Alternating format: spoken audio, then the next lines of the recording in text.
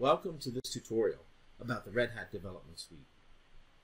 The Red Hat Development Suite includes Red Hat Enterprise Linux, or RHEL, VirtualBox, to run the virtual machine with RHEL, Vagrant, which will manage the process of lo loading and running the VirtualBox, Docker, to run Linux containers, Kubernetes, which helps manage those Docker containers, and OpenShift, the Red Hat Platform as a Service. So let's go ahead and see how you download the installer. The first thing you want to do is navigate to our URL. It's redhatloves.net. That's going to redirect you to the Red Hat Developer Program, the .NET section specifically. From there, on the right-hand side of the top, you can click the Downloads button. That takes you to all the downloads available to you. Scroll down just a little bit, and you'll see the Red Hat Development Suite, in this case version 1.3. Click the Download button. You'll be prompted to sign in. If you don't have a login, it's not a problem. You can set one up. It's just email and password.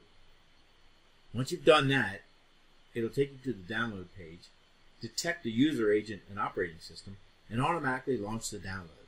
This download is not the development suite. This is the development suite installer, which is about 46 megabytes. With the installer downloaded, we can go ahead and run it. So the first step, we log in. The username and password are the same ones we used when we downloaded the installer. This is your Red Hat identity, and you're going to want to remember this. Let's go ahead and use the installation folder that's defaulted and click Next. On this step, the, the installer checks your system to see what you have installed already. It also gives you the option to not install certain parts. For example, I'm a .NET developer.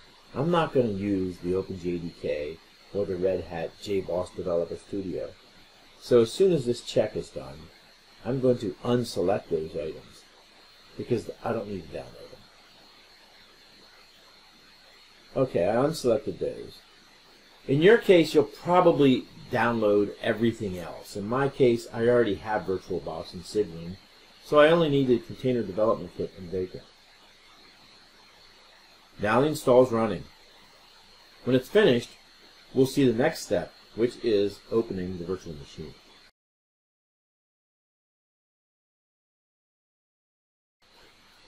Okay, the next thing is to start the virtual machine. So let's go into PowerShell and navigate to the folder where we installed everything. If you use the default, it's going to be the same as on the screen here. Once we get there, you want to run the command vagrant up. That's going to start the virtual machine. During the startup process, you'll be prompted to ask if you want to register the machine. Go ahead and say yes to that. And then you'll type in your username and password from Red Hat, the same one you used when you did the download. Once that's all done, you're going to go back to a PowerShell command line, but your virtual machine will be running. So when you get back to the command line, you can run the command vagrant status if you want to and prove that the virtual machine is running. To be honest, I've never had a time where it didn't start.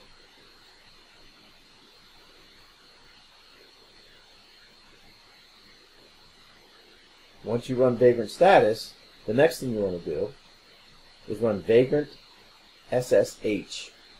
And that's going to take you into your virtual machine. You're going to drop down, so to speak, to the RHEL command line.